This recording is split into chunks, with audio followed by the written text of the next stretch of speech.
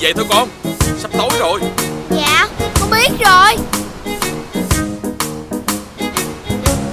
Ồ Nguyên cái vỏ ốc luôn.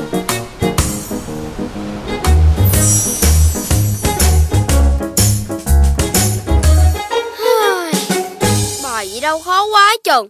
Nhức đầu quá à. Ý Hay quá. Có tiếng đại dương nè. Hả Xin chào ốc nói chuyện hả? Cậu bé Biết chứ Chuyện gì trên đời này Ta cũng đều biết Ồ, hay quá Vậy ông có biết làm toán không? Chuyện nhỏ Ta là vỏ ốc thần kỳ mà 9 cộng 18 bằng mấy gì vậy ông? Hai mươi bảy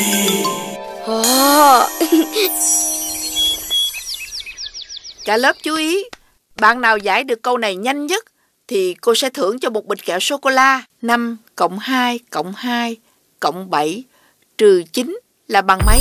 5 cộng 2 là 7 Rồi cộng 2 nữa. Ai Trời ơi nhức đầu quá à. Bài gì mà khó quá vậy trời? Dốc ơi, dốc Sao khó quá à. Dạo cô là bằng 7 Đúng rồi, đốm giỏi lắm.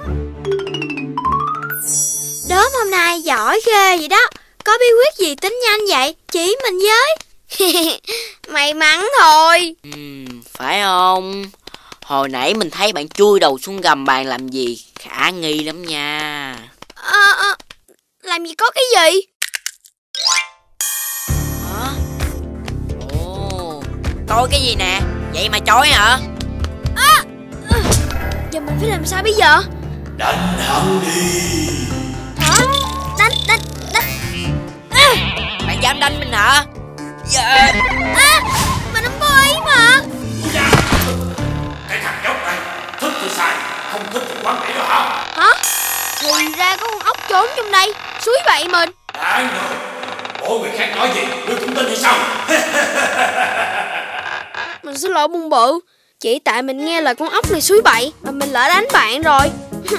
Bạn có sao không vợ Hồi nãy mình cũng đỡ được Nên cũng không đau lắm đâu mà lần sau, đừng có bao giờ nghe lời người khác xúi dại nữa nha.